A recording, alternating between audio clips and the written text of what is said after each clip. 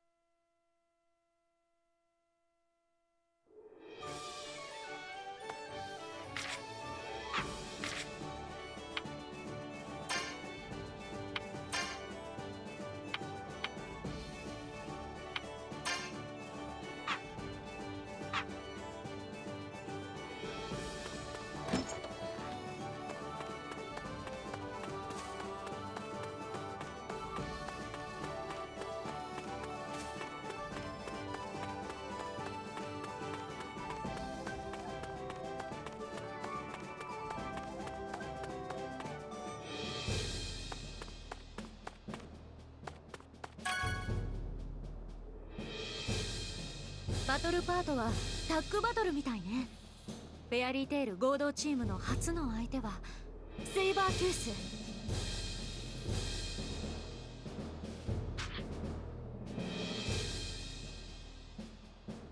フェアリーテールはナツとガジル。セイバートゥースはスティングとローグ。どっちもドラゴンスレイヤーじゃない。ギヒ上も分かってるじゃねえか。黒いのは俺がやる。なら俺が白いのだな。これまでの借りは全部返してやる。打倒セイバートゥース燃えてきた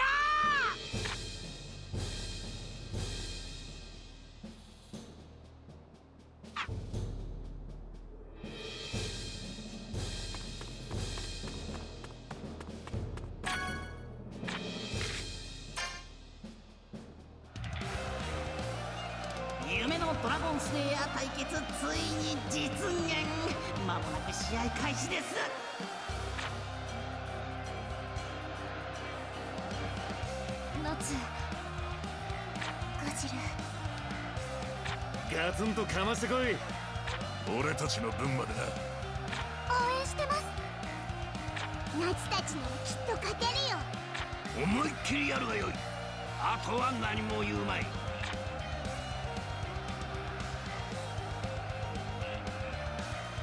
この時をずっと待ってたんだよ。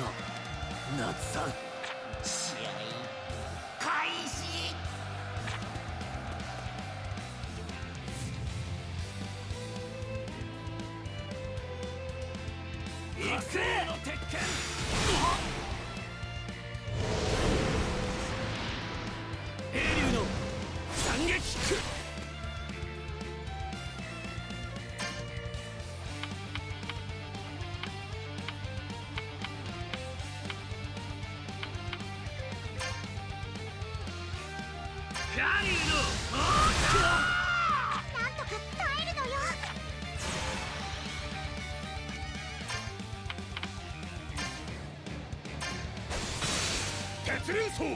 鬼神ガリュウの白龍の鉄拳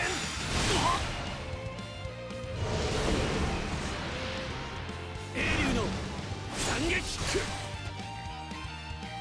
やばいよ。一気に行かないと。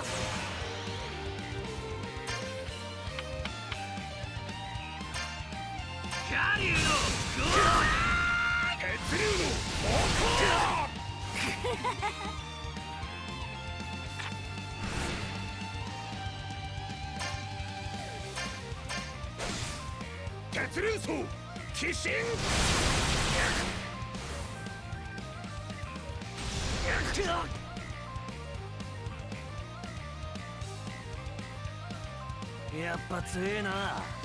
こうじゃなきゃ。ガシお前らその程度の力で本当にドラゴンを倒したのか？倒したんじゃない。殺したのさ。この手で。自分の親じゃなかったのか？あんたには関係ねえことだ。今からその竜殺しの力を見せてやるよ。ホワイトドライブ。シャドウドライブ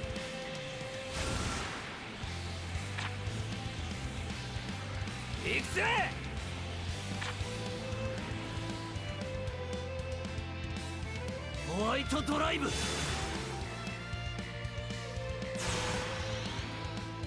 シャドウドライブ。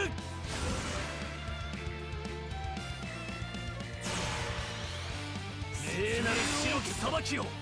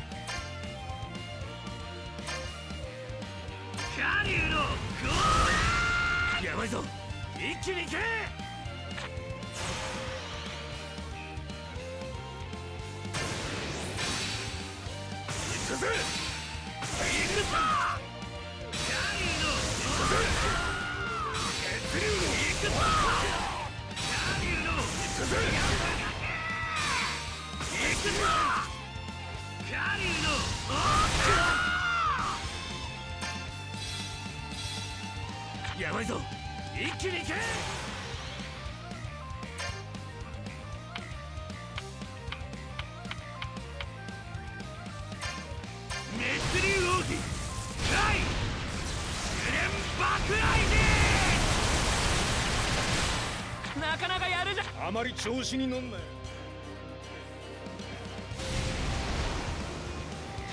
交流拳！白龍の鉄拳！白龍の方向！ガリュウの追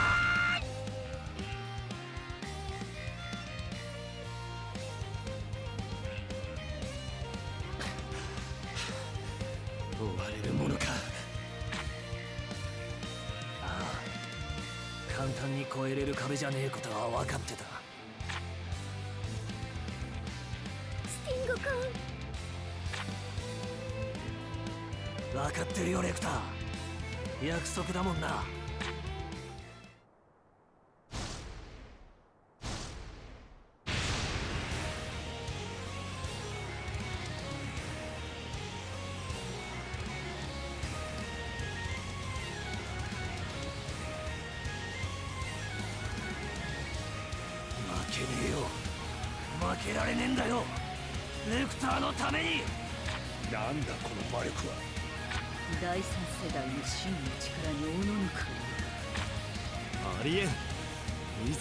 で発動できるのか？ドラゴンフォース？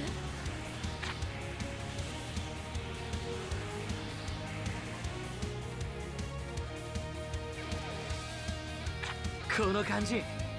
強えぞ。まだまだこれからだぜ。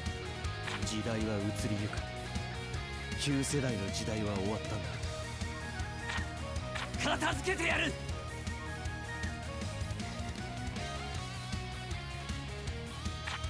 終わりにする。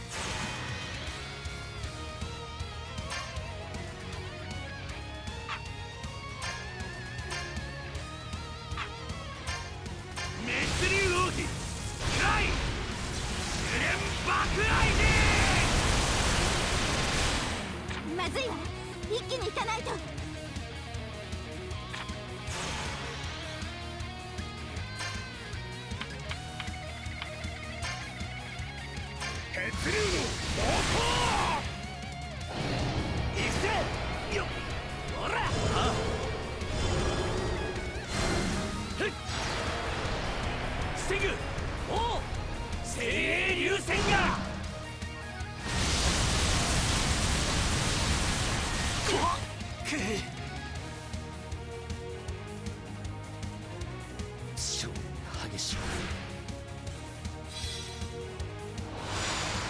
う一度思い出させてやる。俺の恐怖を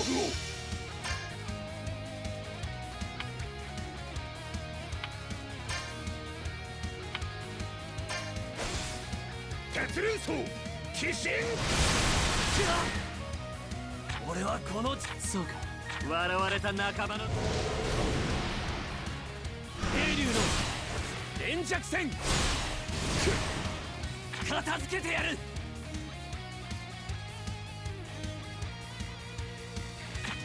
終わりにする。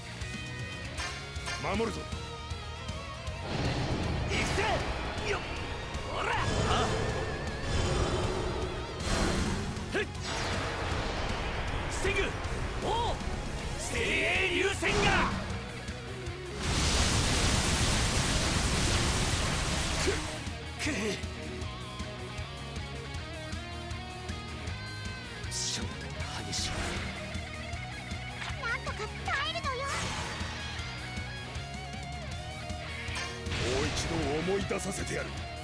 俺の恐怖を。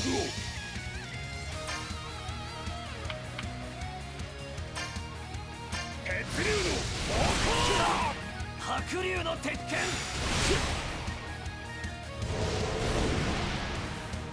霊竜の粘着戦。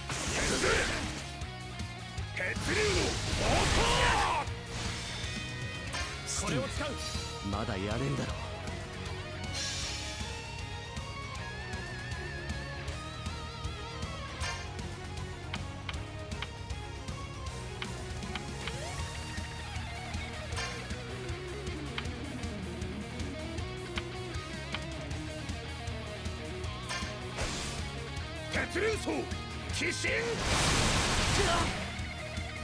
流奥義ホーリーノマ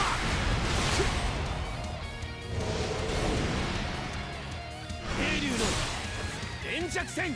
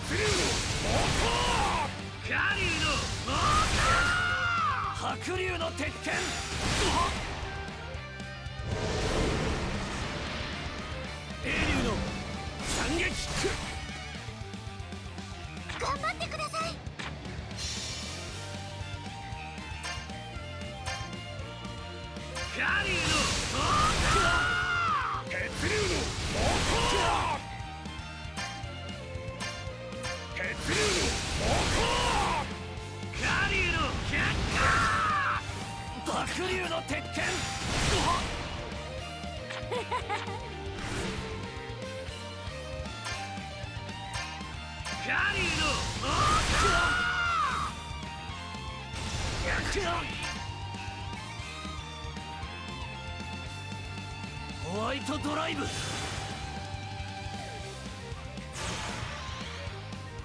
シャドウドライブ。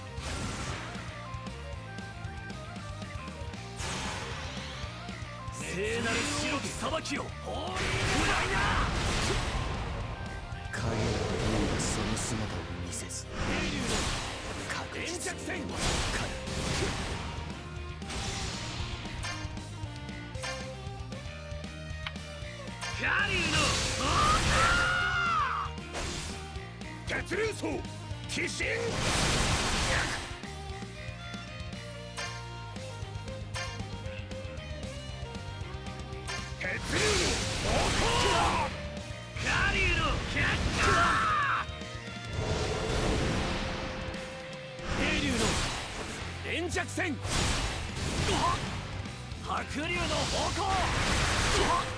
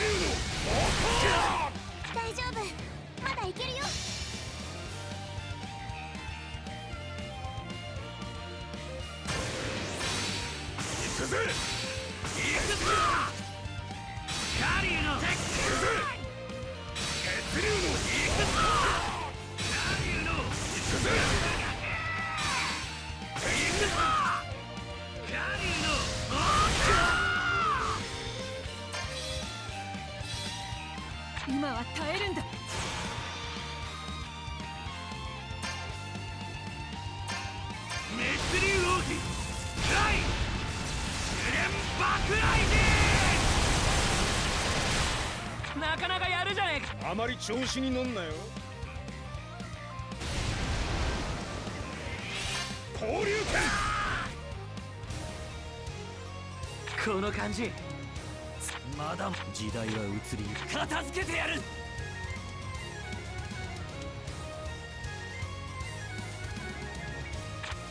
終わりにする。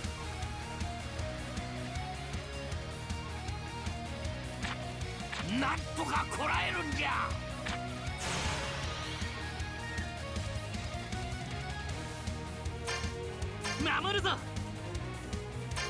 守るぞ。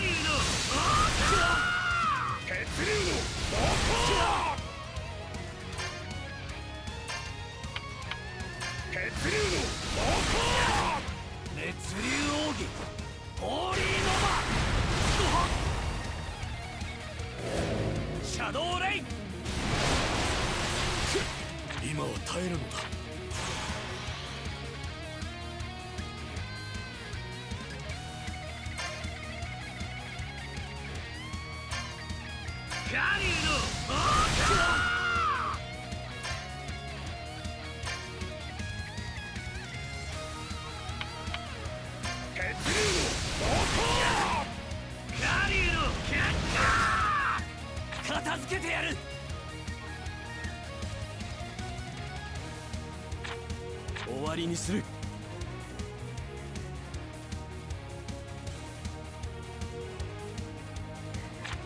大丈夫。まだまだいけます。守るぞ。まずいわ。一気に行かないと守るぞ。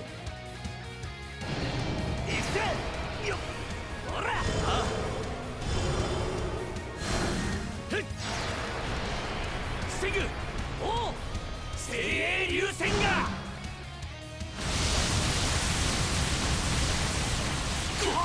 くっ。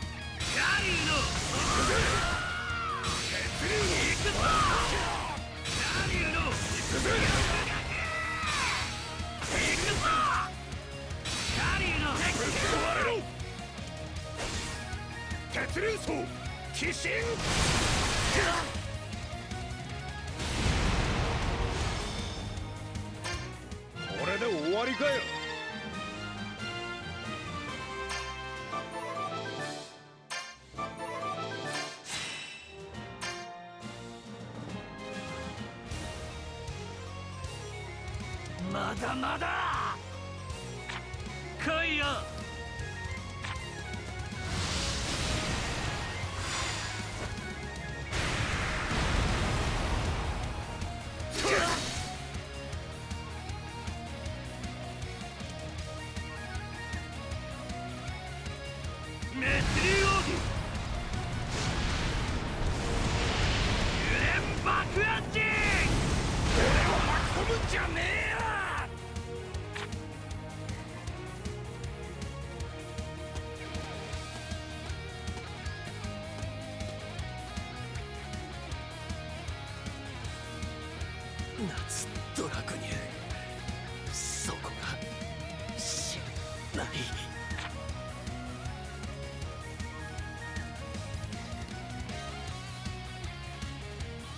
また戦おうな。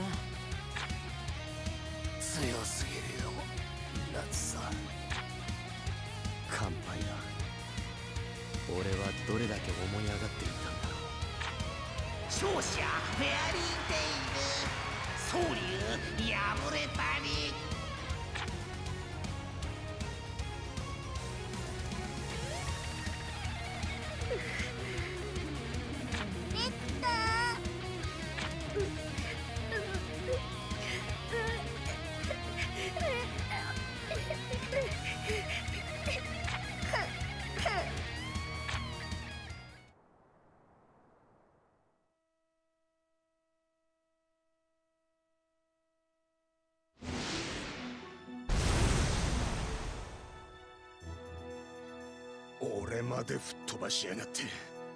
サラマンダー絶対ぶっ殺す。つうかここどこなんだ？ん？ななんだこりゃ？ドラゴンの墓場？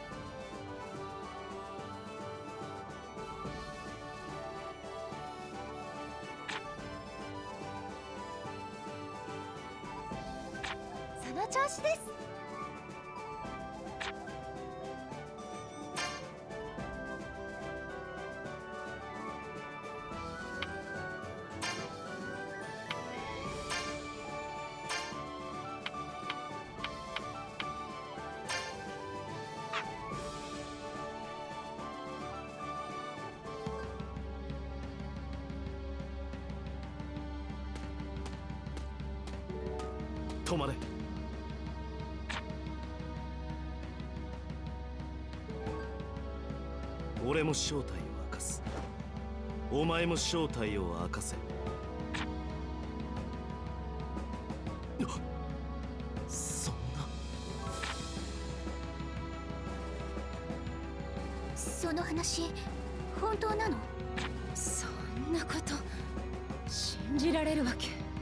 俺たちは大きな勘違いをしていたのと同時に抗えない運命の中に閉じ込められていた世界を変える扉。エクリプス。そして竜王祭。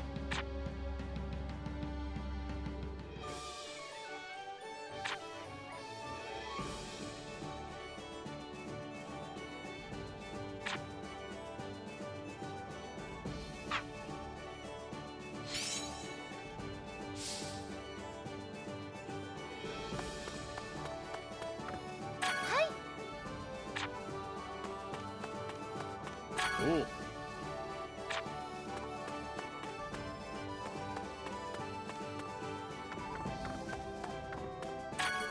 よし。よし。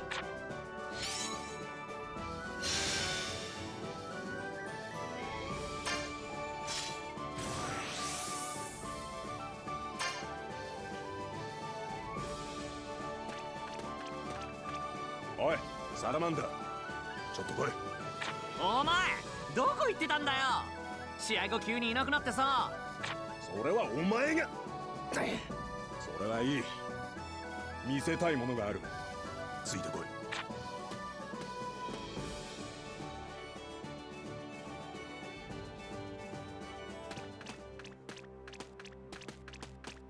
これは。ドラゴンの骨。ドラゴンの墓場こりゃ。こんなに大勢のドラゴンが。ここで何かあったのかしら？ミルキーウェイ。魂となったドラゴンの声を聞く魔法。ここに眠るドラゴンの声が聞こえればここで何があったかわかるかもしれません。そしていなくなった私たちのドラゴンのことも。そんな魔法が。すげえぞウェンディ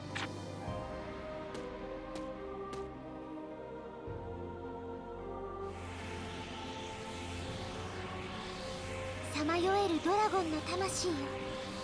そなたの声を私が受け止めよう。ミルキーウェイ。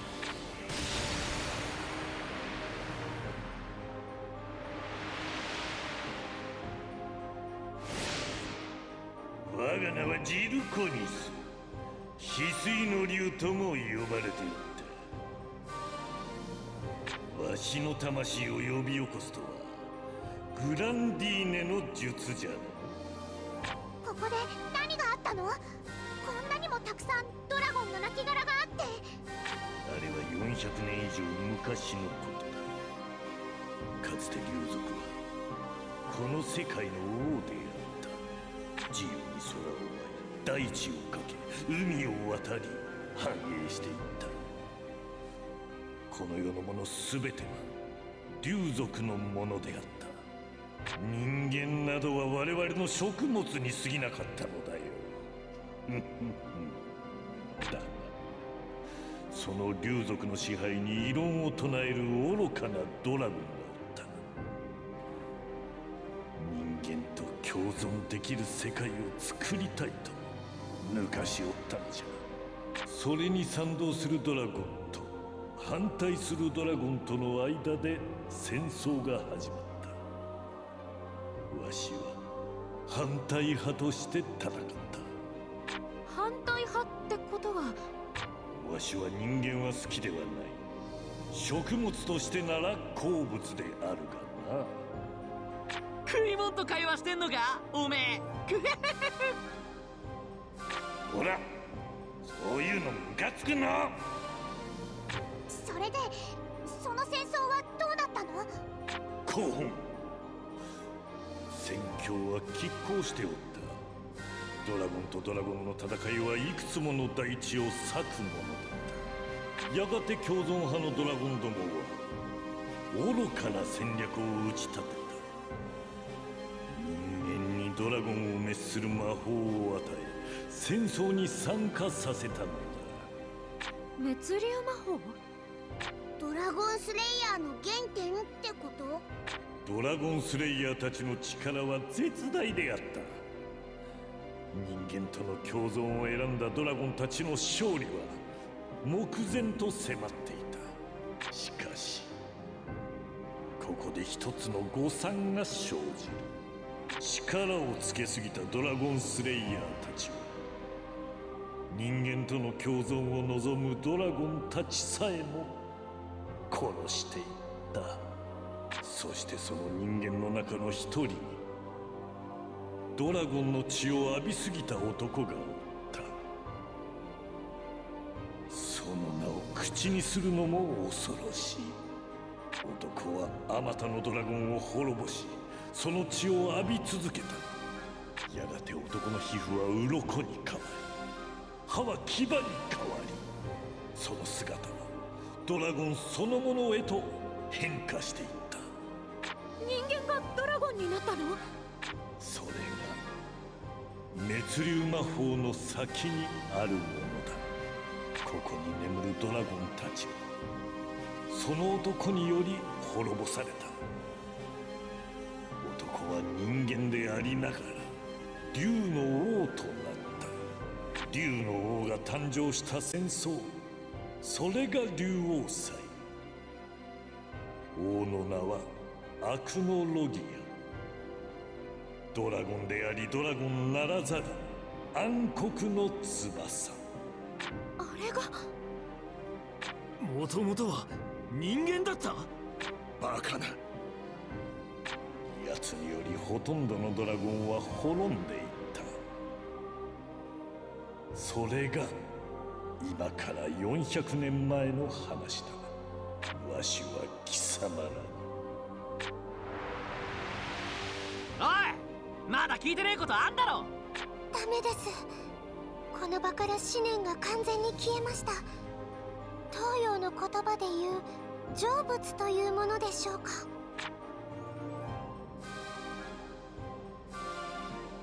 なんだかえらい話になってきたな。スケール大きすぎよ。滅竜魔法使いすぎると本物のドラゴンになっちまうのか。それは困るそれはありえんよ。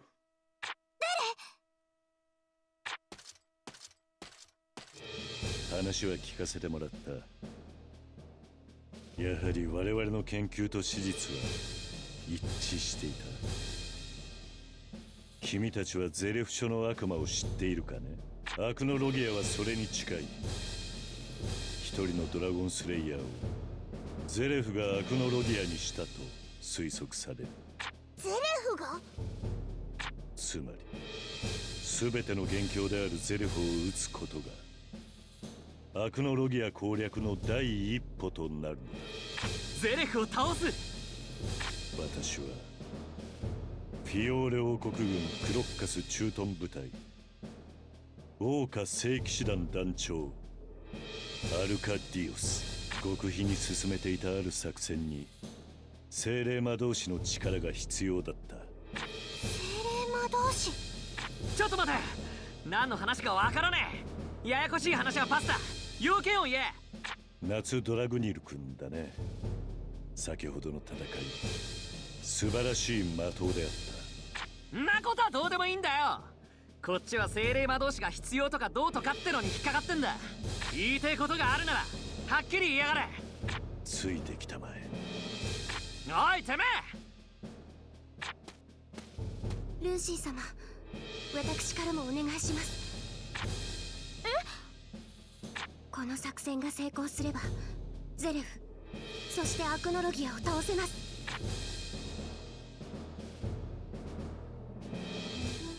んだこ下等級メルクリアスですね。陛下のおられる城だ。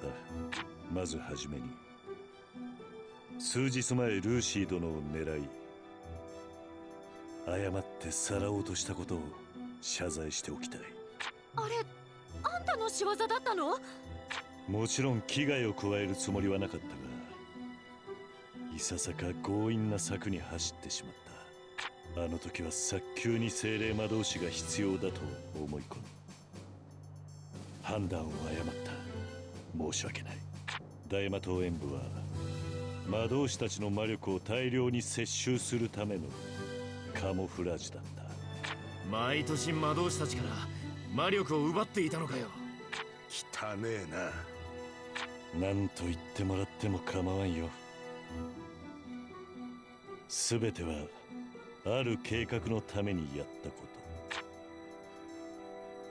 世界を変える扉エクリプスこれの建造のため大量の魔力が必要だった。扉？なんだこりゃ？太陽と月が交差するとき12の鍵を用いてその扉を開け扉を開けば時の中400年の時を渡り不死となる前のゼレフを撃つそれこそがエクリプス計画。時を渡る？太陽と月が交差するときすなわち3日後の7月7日君の力を貸してほしい。ルーシー殿。7月7日。私たちのドラゴンが消えた日そこまでだ！王国兵？国防大臣殿これは何の真似ですか？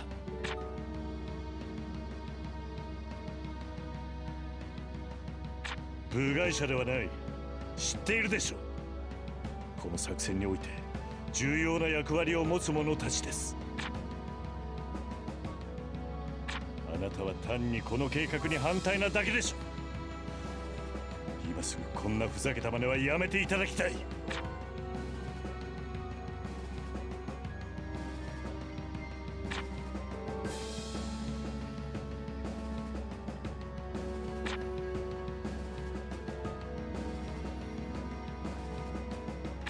ちょっと私まで。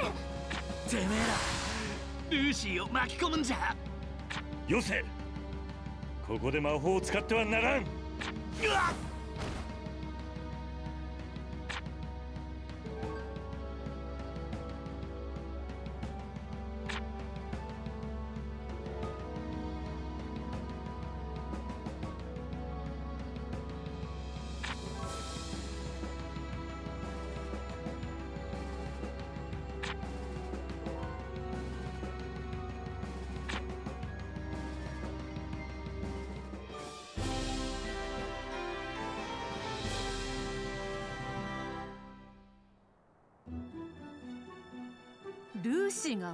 兵に捕まった。よくわからん計画の関係者にされちまったのかんなことはどうでもいいんだよ。俺は今すぐ助けに行くぞ。落ち着いてくださいナツさん。相手は王国なんだよ。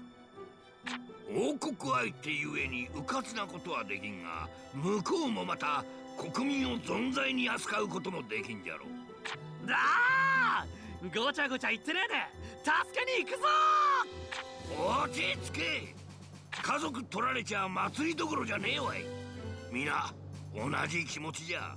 いつもみてえに後先考えんで突っ込んでも今回ばかりは相手が悪い。が黙ってられるほど腰抜けじゃねえぞ。フェアリーテイルは。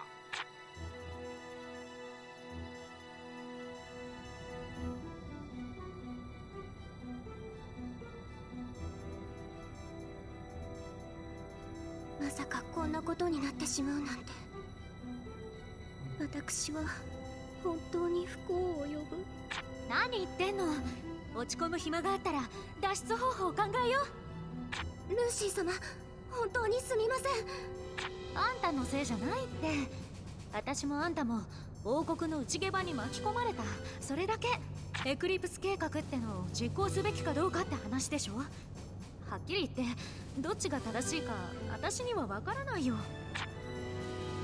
実行するべきですよ。私には姉がいたんです。空野という名前でした。私は何をやってもドジばっかりしていつも両親に怒られてました。でも姉はそんな私をいつでもかばってくれた。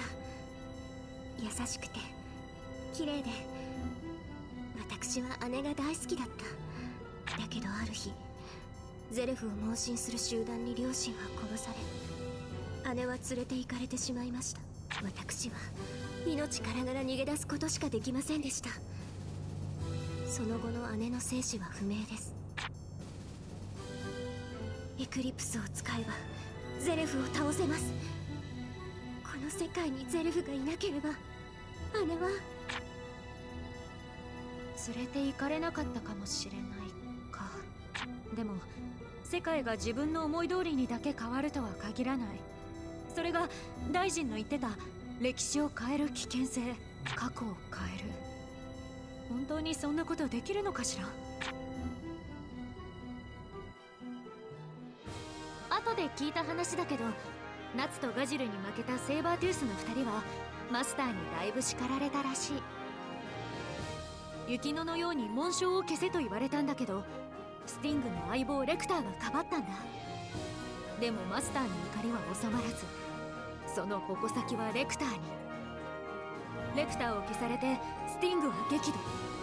ついにマスタージエンマに歯向かってしまった。でもマスターのやり方が気に食わなかったのはミネルヴァも同じで密かにレクターをかくまっていた。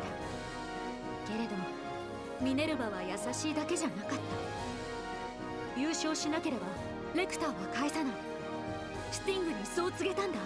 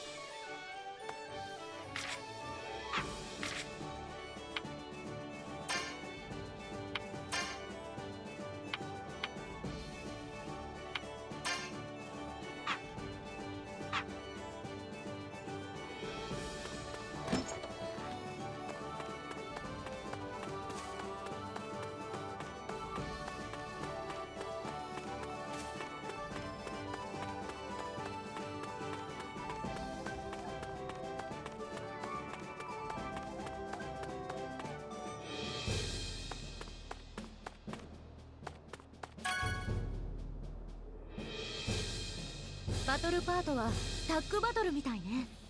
フェアリーテール合同チームの初の相手はセイバートゥース。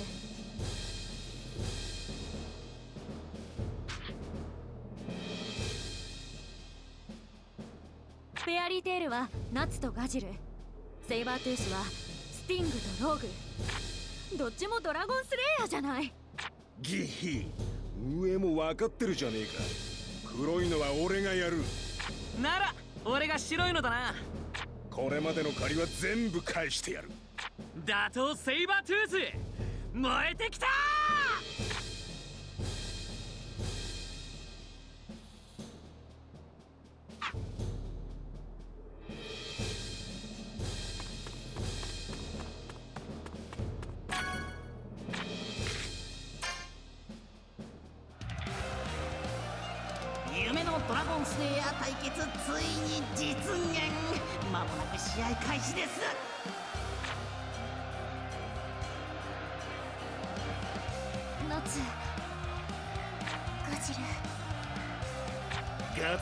ましてこい。俺たちの分までな。応援してます。ナツたちならきっと勝てるよ。思いっきりやるがよい。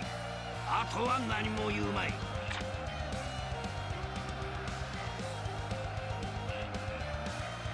この時をずっと待ってたんだよ。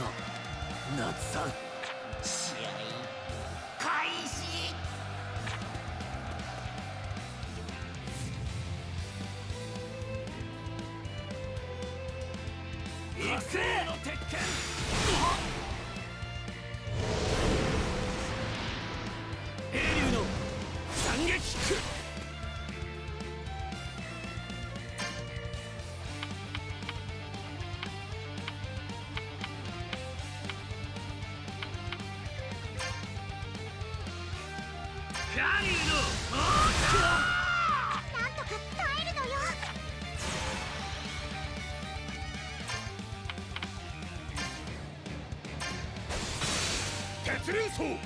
鬼神。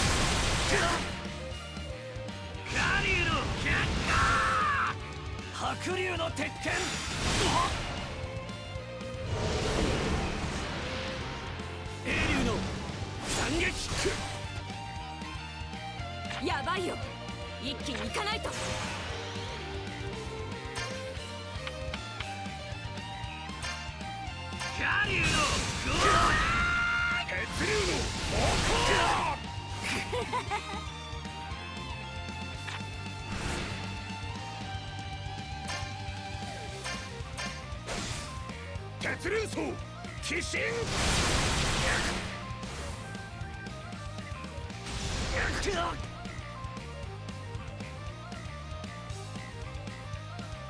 やっぱ強えな。こうじゃなきゃ。ガシル。お前らその程度の力で本当にドラゴンを倒したのか？倒したんじゃない。殺したのさ。この手で。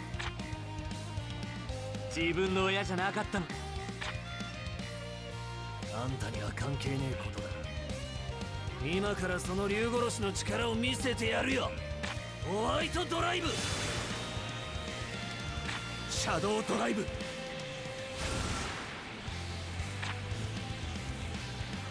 行くぜ！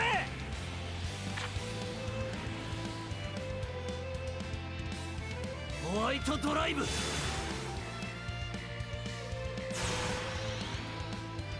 シャドウドライブ。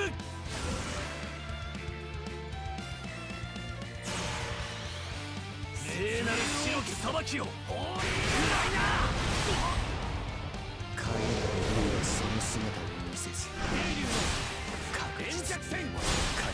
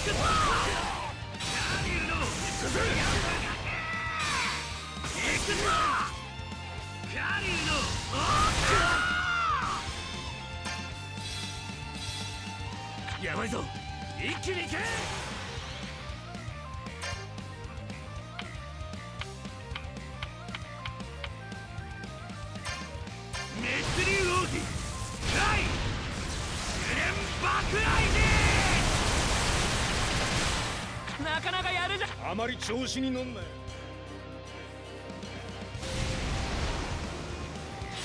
交流白龍の鉄拳！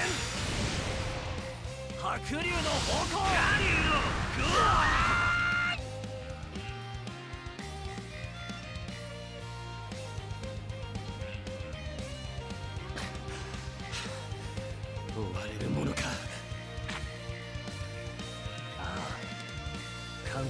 えれる壁じゃねえことは分かってた。スティング君。分かってるよレクター。約束だもんな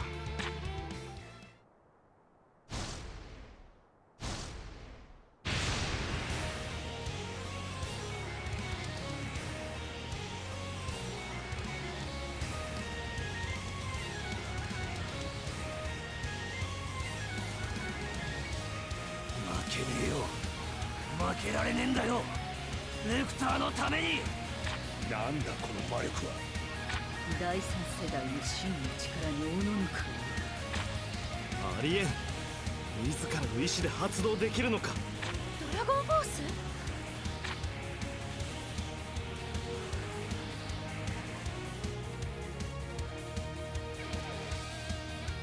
この感じ。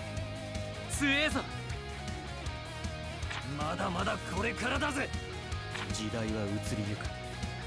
旧世代の時代は終わったんだ。片付けてやる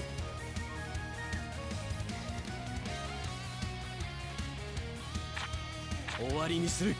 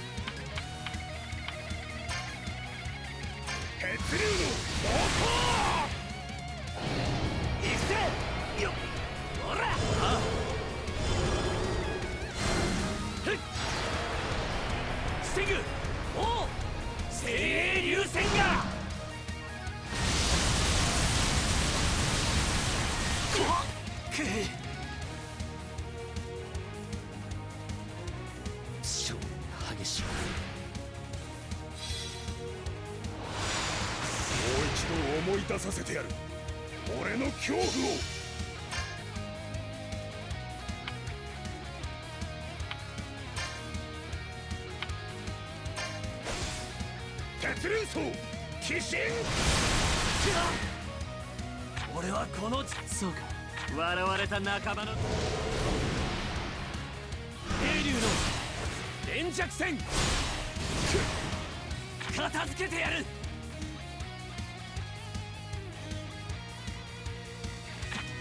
終わりにする。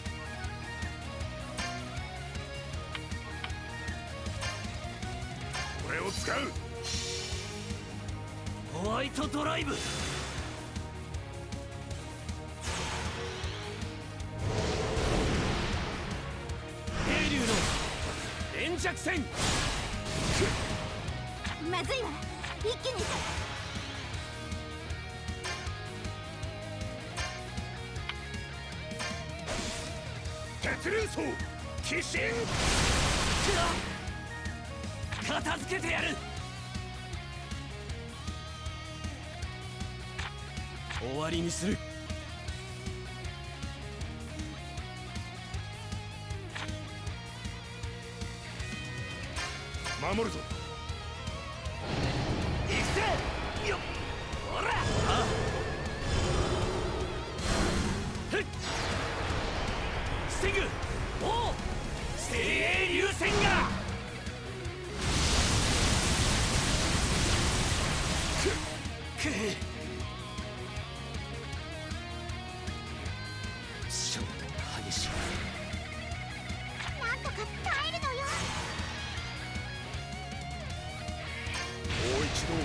させてやる。俺の恐怖を。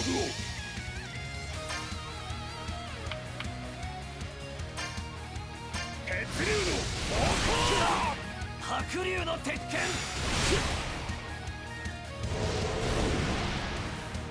霊竜の連弱戦。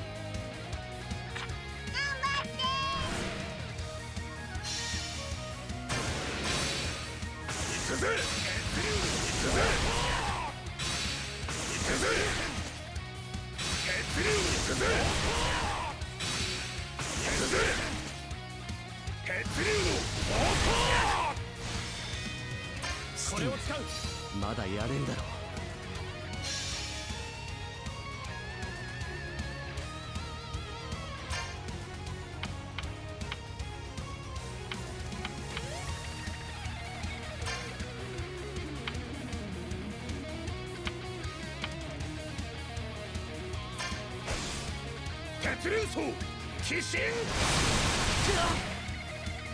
熱流奥義ホーリーノマ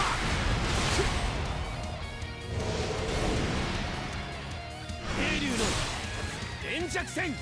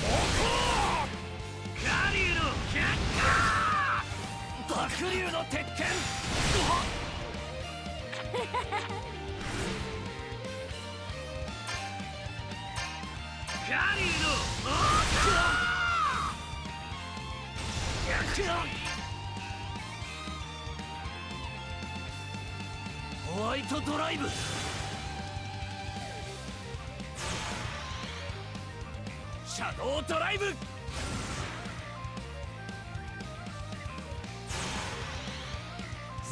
る白き裁きを。影のがその姿を見せず確実に。分かる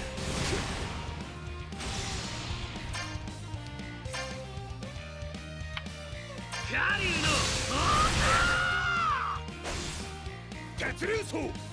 鬼神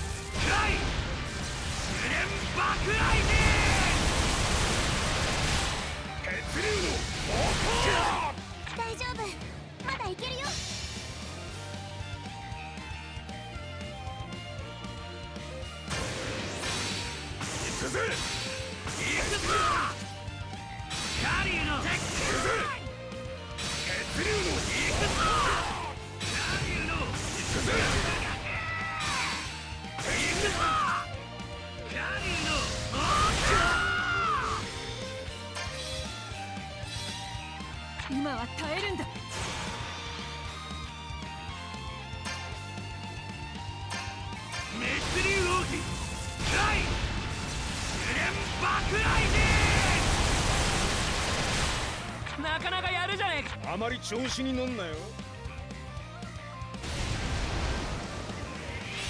交流か！この感じ。まだ時代は移り片付けてやる！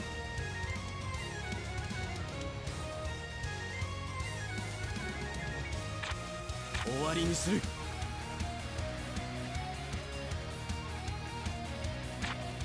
なんとかこらえるんじゃ！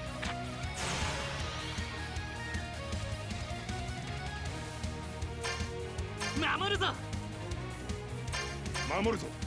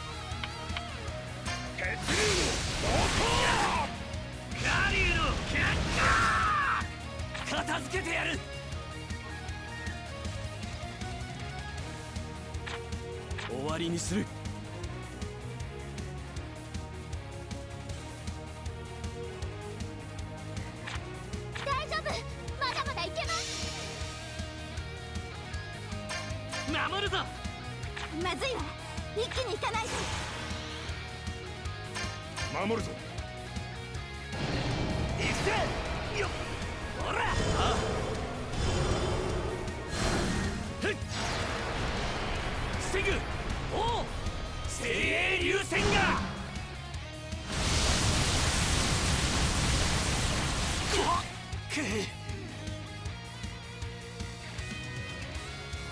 勝負が激しい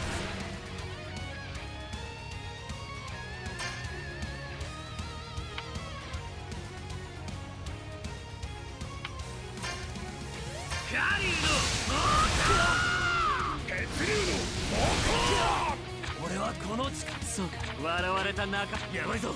一気に行くぜ行くぞ。カリーの血流カリーの行くぜ行くぞカリーのぶっ壊れろ血流層鬼神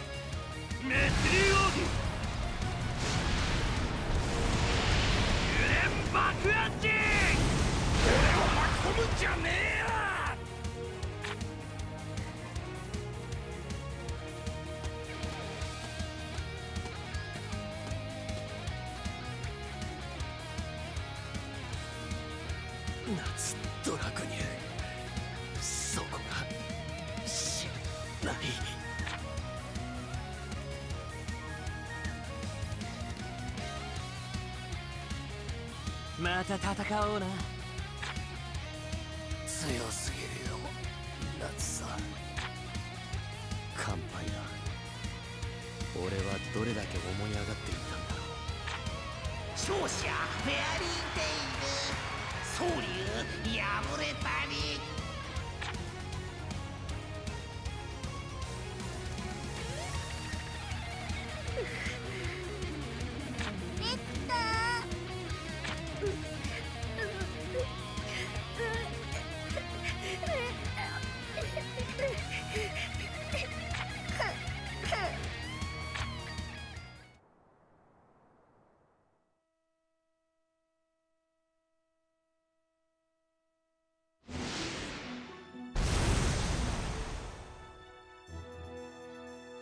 れまで吹っ飛ばしやがって。サラマンダー絶対ぶっ殺す。つうかここどこなんだ？ん？ななんだこりゃ？ドラゴンの墓場？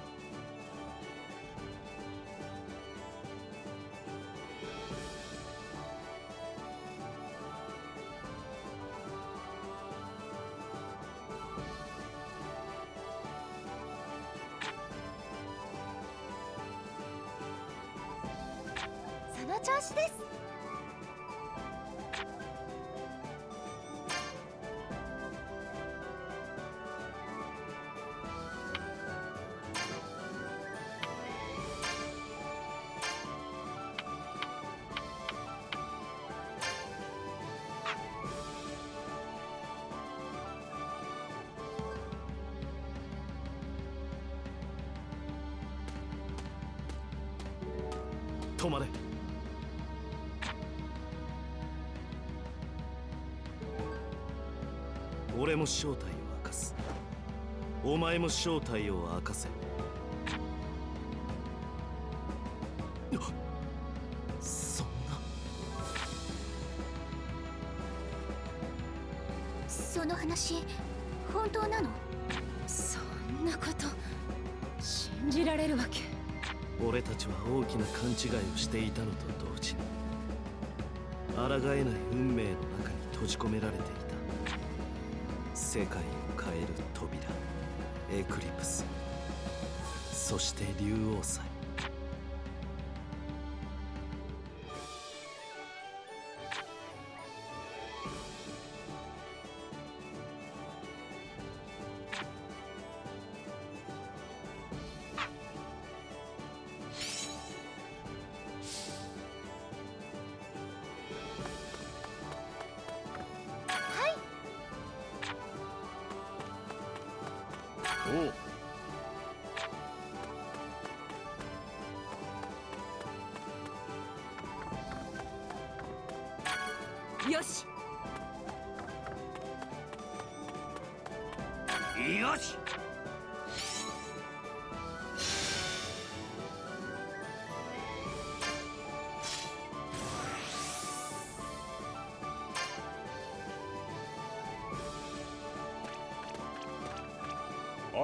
サラマンダちょっと来いお前どこ行ってたんだよ？試合後急にいなくなってさ。それはお前が。それはいい。見せたいものがある。ついてこい。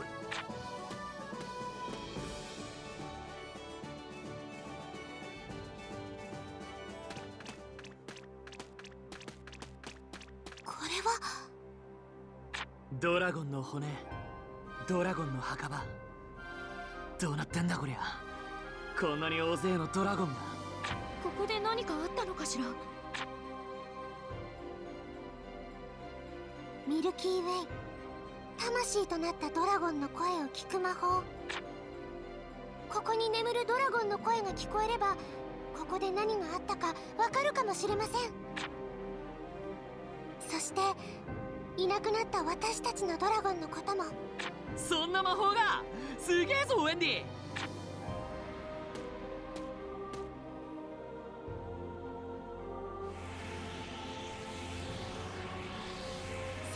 るドラゴンの魂よそなたの声を私が受け止めようミルキーウェイ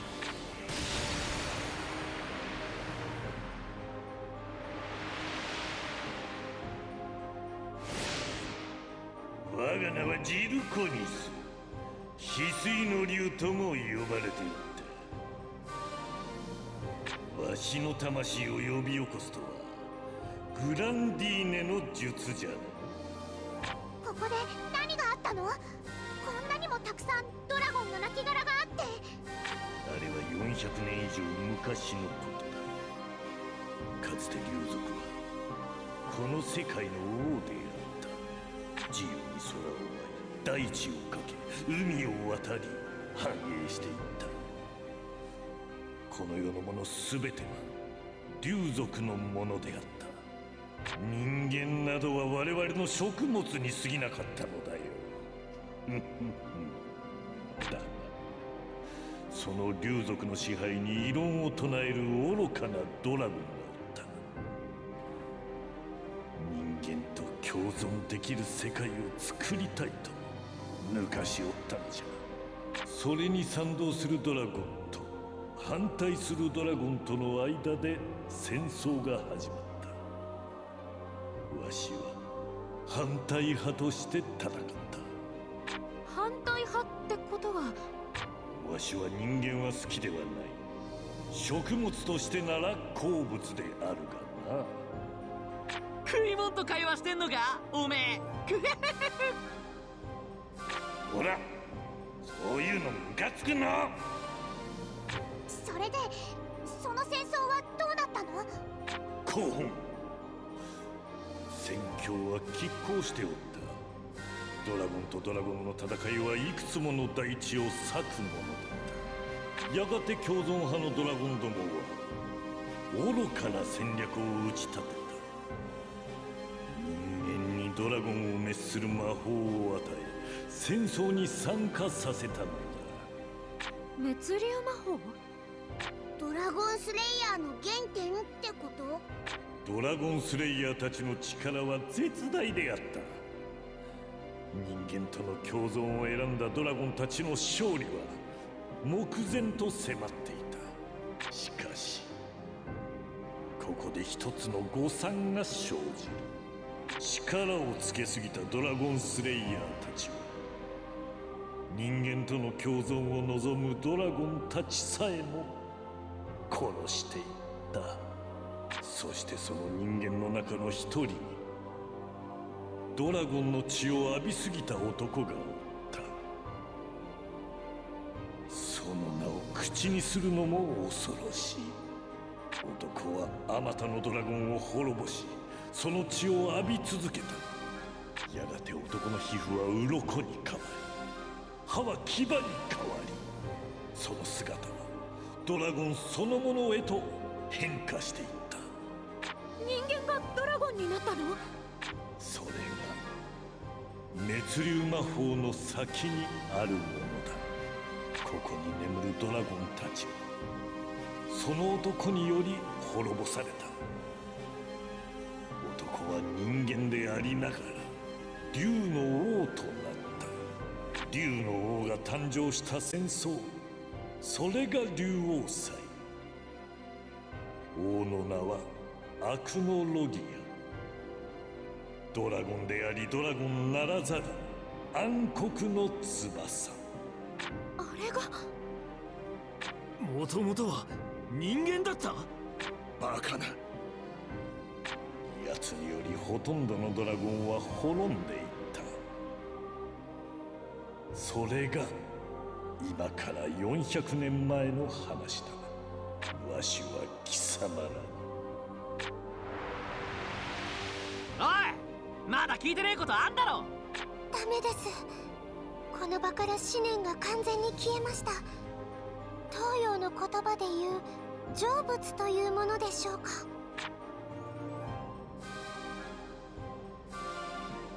なんだかえらい話になってきたな。スケール大きすぎよ。滅竜魔法使いすぎると本物のドラゴンになっちまうのか？それは困る。どうしよそれはありえんよ。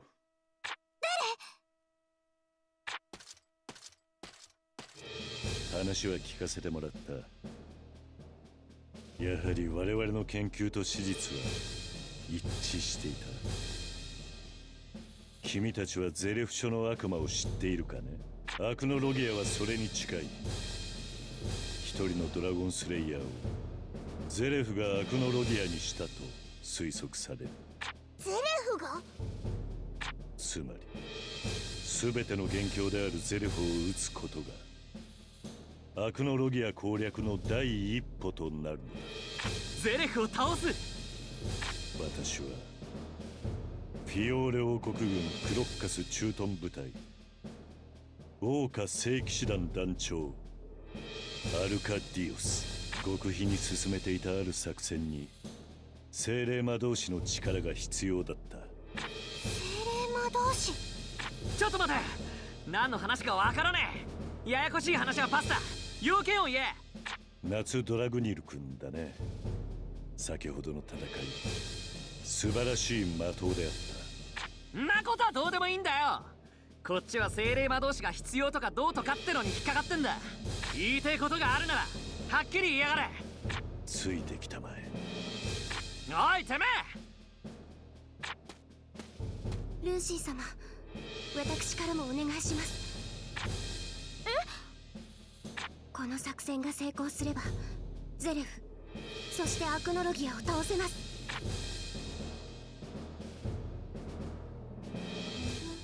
んだこ下等級メルクリアスですね。陛下のおられる城だ。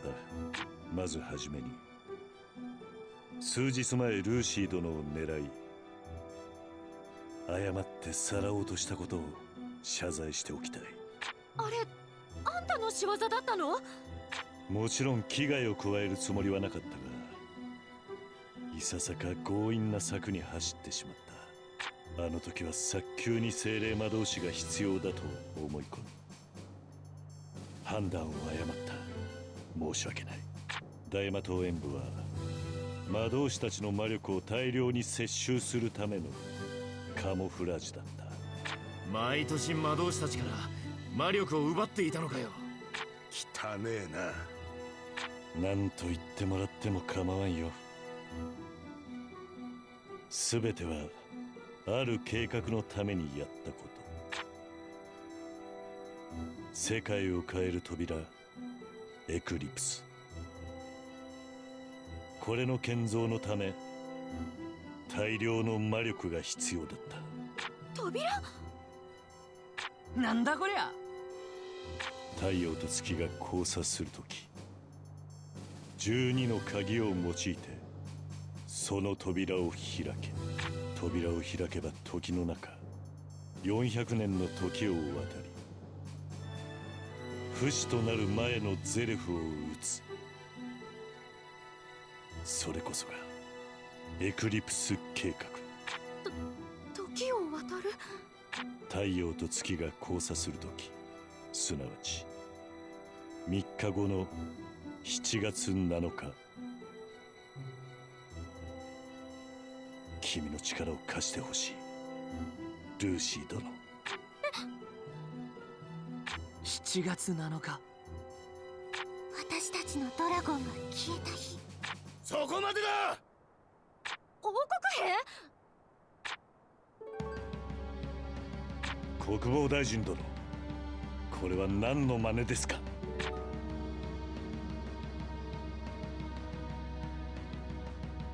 部外者ではない。知っているでしょう。この作戦において重要な役割を持つ者たちですなたは単にこの計画に反対なだけでしょ。今すぐこんなふざけた真似はやめていただきたい。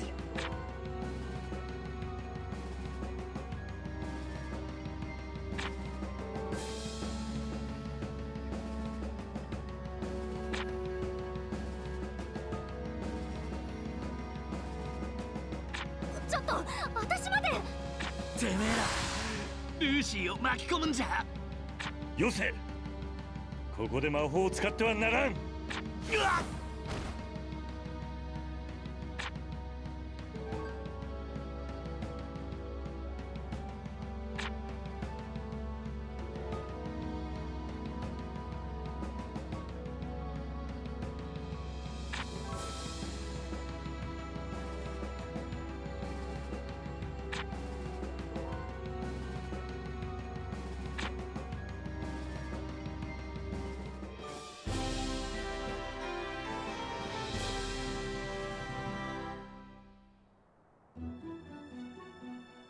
ルーシーが王国兵に捕まった。よくわからん計画の関係者にされちまったのかんなことはどうでもいいんだよ。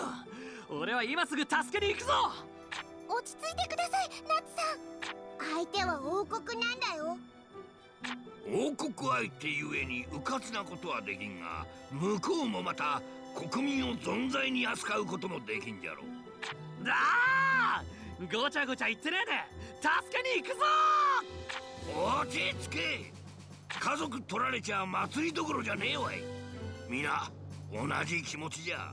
いつもみてえに後先考えんで突っ込んでも今回ばかりは相手が悪い。が黙ってられるほど腰抜けじゃねえぞ。フェアリーテイルは。